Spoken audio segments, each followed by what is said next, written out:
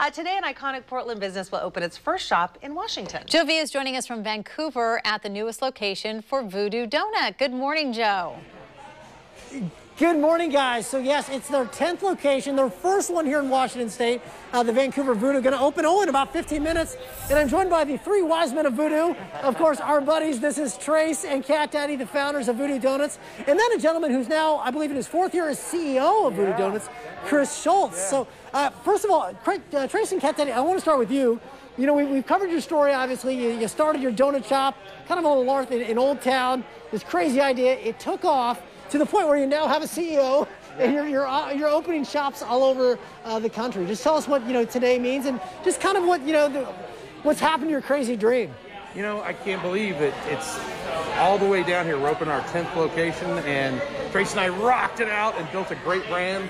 But we brought on this wonderful guy, Chris Schultz, here to accelerate the brand and make us grow. And so we're just happy to have finally cross the state line to Vancouver. We're really excited about it. And so, Chris, tell me a little bit. You know, Voodoo is such an interesting property because it's there's a donut, but it's a vibe, man. I mean, it really is. It's a vibe, and each location is different. So how do you kind of keep that going as you open up these different shops yeah, all over the place? It's important. You know, we bring a little bit of the Portland ethos over, but this is Voodoo Vancouver, right? The chandeliers are straight out of New Orleans, right? Sexy Sam Elliott is our spirit chandelier. Yeah. So we really wanted to make it feel like Vancouver Voodoo, not Portland Voodoo. So all those folks that have gone over the bridge for years, we still want you over there with your friends and family and, and tourists coming to town, but now you got your local place to come hang out.